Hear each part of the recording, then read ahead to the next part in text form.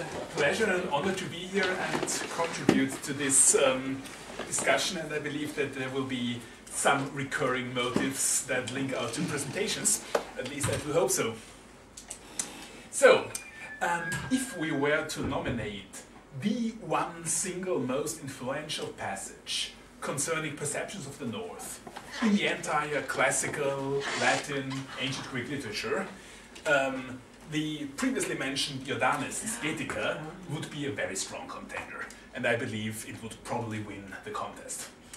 It's the famous phrase of uh, the island of Scandza, that Britt already mentioned, as quasi officina gentium aut certe velut vagina nationum, the workshop of tribes, the armory of tribes, or the wound of nations.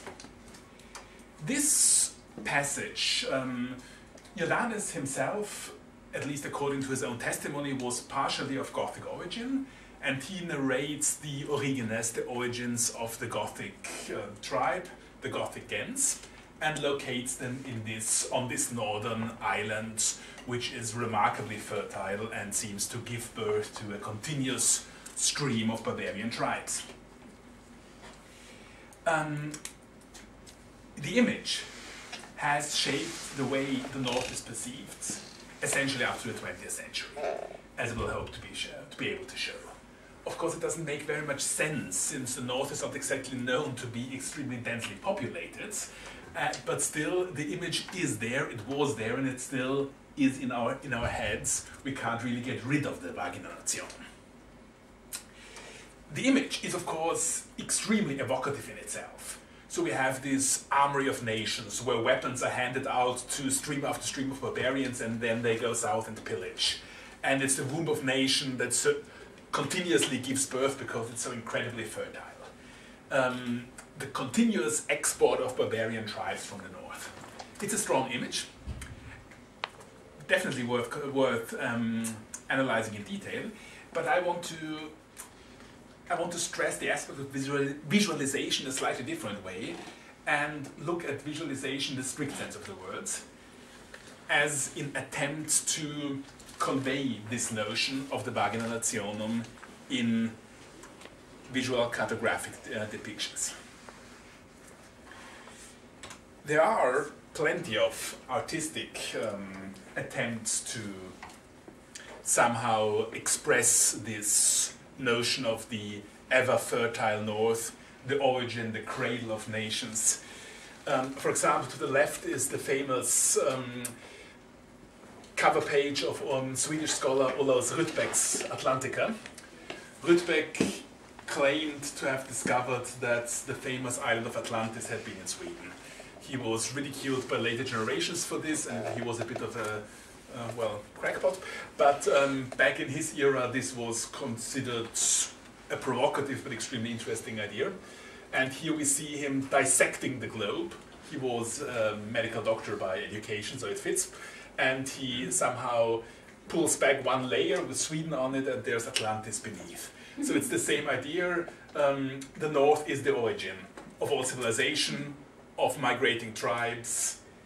Rudbeck um, gets rid of the barbarian aspect, but essentially his idea is still very much Jordanes oriented.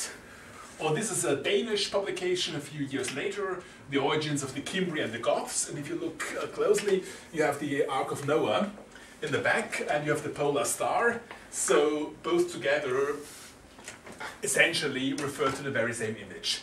The Ark of Noah is the origin of tribes, as the Bible tells us every tribe originated from there at some point. So there have been attempts to visualize it, or at least to hint at a similar idea, but the one technique of visualization that really made sure that this image is inscribed into our heads is the historical map. There are countless of these maps. Um, in school books, on the internet, in this case um, on Wikipedia, um, sometimes a northern origin, in this case we're talking about the Vandals, sometimes a northern origin is explicitly um, depicted on the map. More often it's discreetly hidden away, so the, the arrow come into the picture from the north, but we don't know for sure where they really originate from. But still, it's all very much north-south oriented. And these images, these maps are omnipresent. They are mainly responsible for inscribing the Vagina Nationum motive in our collective mental map, in our historical consciousness, and also in our perception of northernness. They are, of course, a bit dangerous because they suggest that there are clearly defined ethnic entities. Each of these arrows supposedly is one tribe, one gens. And um, modern research has shown that these um, migrating tribes were certainly not as clear cut and as easy to define as these maps suggest. But still, they are there, we can't get rid of them, and they're in our heads. Um, if um, a historical motive is mocked in Asterix, it's usually a good indicator that it is important. And here you have this little map with all the arrows and different Goths banging each other on the head with big wooden clubs, which is how barbarians do it. So, um, what I will try to do in the uh, next minutes is to look at the origins of this kind of cartographic depiction of the Vagina Nationum motive. It's been a long way because initially um, the oldest cartographic depictions of barbarian tribes that we know tend to be rather static in nature. They usually do not have arrows on them, they usually don't uh, suggest any motion, any movement, they just assign a place to the barbarian, usually in the north. This is a detail from the famous Tabula Peutingeriana, a medieval copy of a late Roman road map. And on top, in the north, you have in this case the Marcomanni, uh, the Vanduli, the Vandals, so you have the barbarian tribes in the north, but they're not moving. They're essentially static.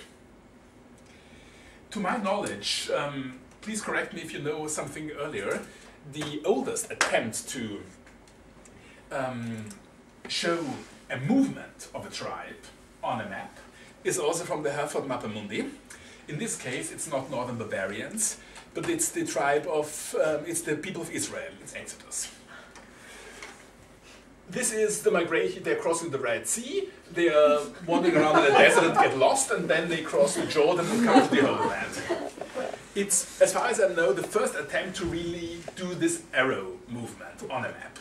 But of course, the Hereford Mappamundi does not want to show, doesn't primarily want to show geography, it wants to convey um, sacred geography.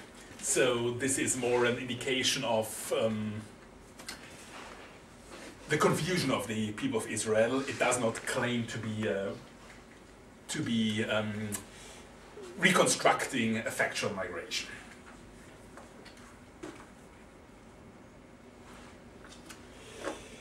If we look at the um, well-known and very famous Carta Marina of Olaus Magnus, we get closer to the um, topic. Olaus Magnus, as most of you will know, was the brother of, the younger brother of Johannes Magnus, the um, founding father of Swedish Gothicism, an entire state ideology that basically went back to Jordanes' idea, the Goths have come from the north, have come from Sweden, and this is why the Swedes can be so extremely proud of themselves. And Olaus essentially wrote in the same line of argument.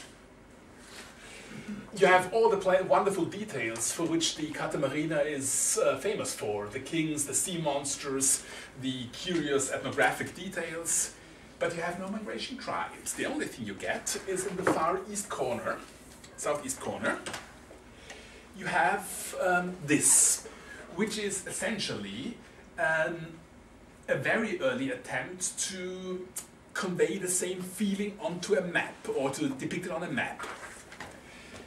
Ex-Scandia, from the island of Scandia, Scandinavia, consisting of no Norway, Sweden and Gothia, Götaland, you have all those tribes that originated from there. Of course, there are the Goths, and Jordanes is quoted together with Paulus Diakonos as the main source. You have the Longobards, another classic. The Huns are a bit of a surprise, but uh, we would not locate them in Scandinavia, but Olaus did. that the Swiss are coming from Scandinavia might sound bizarre, but it was a commonly accepted theory back in this time, since um, um, the two ethnonyms um, sounded somewhat vaguely different, vaguely similar. And we have the previously mentioned Amazons. So um, it's clearly an attempt to show the Jordanes hypothesis, the Vagina Nationum motive. But still, the true cartographical aspect, it's an addendum to the map. It's not part of the map itself. Olaus based his um, um, depiction on, um, well, an attempt by German humanist Franziskus Irenicus from the early 16th century. This is far less um, aesthetically pleasing, but it's essentially the same thing. You have Scandia on top, and then you have all the tribes originating from there. So it's the direct model for Olaus is far nicer to look at um, depiction of the same idea. But um, Franziskus Irenicus suggested two possible genealogies of all these tribes. The left one is the one that inspired Olaus Magnus. The right one is a far more conservative one. It's, it's very biblical. It starts with Noah on top, of course. You have Twiscon, who is the Tuisto of Tacitus, is Germania, who was usually believed to be um, post-Diluvian son of Noah. It's a rather desperate attempt to link Tacitus to the Bible but this was firmly believed in the early 16th century. And then you have different other Germanic kings. You have Gambrinus, the inventor of beer, very important person. You have Vandalus, from whom the Vandals come. So there are some hints that tribes do play a role, but essentially it's a, it's a genealogy of individuals. Which is clearly um, the more individualized alternative to the other tribal genealogy that Franciscus Irenicus also suggested. So we do have um, a shift in focus from the individual, personalized genealogy of Franciscus Irenicus to the collective, tribal genealogy that Olaus Magnus then chose to use. And Olaus has this very rudimentary attempt to project it spatially because he has at least this mini map of Scandinavia on top. So, why did he do it? Why did he not do the nice clear-cut arrows? Simply because the technique was not very well known at this point. If we look at one of his contemporaries, um, now I'm being patriotic and um, trying to present a fellow Viennese, the Austrian um, court historiographer Wolfgang Lazius. He invented the term migratio gentium, which later became German Völkerwanderung, the barbarian migrations. Lazius was a great scholar and uh, he took great efforts to show all these barbarians um, in a very, with great artistic talent. He was also a brilliant cartographer. We, one of the very first maps of Hungary was done by him, so he was a pioneer of cartography. But he did not link the two. There is no attempt um, in his um, works to project barbarian migration onto the map. Barbarian migration is only conveyed through text and images like this where the protagonists are shown. It is not inscribed into the map. Essentially it stayed the same for quite a while. This is another pioneer of um, historical ge geography, Philip Clüver, um, whose book on, the, on ancient Germany dom dominated most of the 17th century. But again, as you see here, each tribe is shown in a particular location. It does not move. It's essentially the same static idea of ethnicity that the Tabula Peutingeriana had. The very first attempts to um, change this, again, link back to biblical history, similar to the attempt that they have for Mappamundi. This is from Sir Walter Raleigh's History of the World, roughly the same time as Philip Clüver. And here you have the Tower of Babel and all those migrating tribes that populate the world after the languages are dispersed at Babel.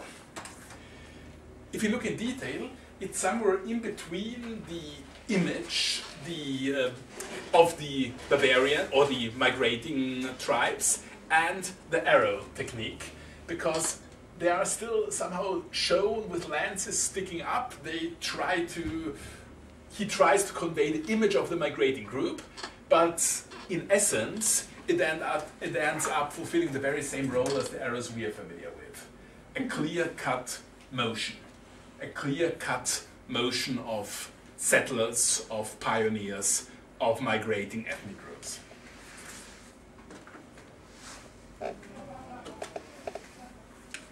The very first attempt to um, use this in combination with the Jordanes motif is a rather obscure work by um, a German scholar called Hagelgans.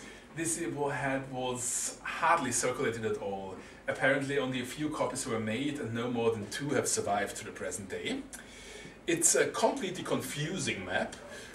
If we zoom into the north, it gets a bit more um, easy to look at but he, the entire map is crisscrossed by hundreds of different migrating tribes. But here we have the idea it's Gothorum via, the road that the Goths took, the road that the Heralds took, the road that the Northmans, the Angles, and all the others took. So it's, um, for the first time, the old Jordanes idea expressed through cartography. Once this had been done, even though this had such a very, um, it was only circulated in a few copies, the idea started to be transmitted and disseminated strongly. And roughly a century later, such maps have become extremely popular. This is um, early 19th century, and it's more or less the same type of map that we are used to. Uh, somewhat confusing, but um, clearly assigned ethnic entities migrating all over Europe, conquering, pillaging, and plundering, and all of them come from the north, where, thanks to Jordanes, we know that the Vagina Nationum is. It did reach its, um, the peak of its usage and abuse in the 1930s, when um, publications like this um, tried to argue that again, it's like a mockery of poor old Olaus Rudbeck. Entire civilization, entire um, culture has come from the north and migrated from something that was considered to be an Aryan Urheimat. But despite these obvious abuses, and uh, despite its uh, appropriation by um, German nationalism and even Nazi rhetorics, the basic argument has remained with us. So essentially, it's a three-step um, process. We have the original text from Jordanes, which had this evocative image of the Vagina Nationum and made sure that we don't forget it. We have the very first attempts by men like Olaus Magnus to express through, his, through a technique that was still rooted in the individual genealogies of the Middle Ages. And then we have the paradigm shift marked by Hagelgans, where for the very first time historical cartography and the convincing technique of the easily um, defined and seemingly innocent arrow, where this technique made sure that this image, the North as the womb of nations, would stay with us. And as much as our generation of historians have tried to argue that this not, does not make very much sense at all, this image is so deeply rooted in the public consciousness that it seems very likely to stay with us for at least a few more decades or even much longer. I'm grateful for your attention. I would be even more grateful for any questions, comments, or criticism that you might have. So, um, thank you.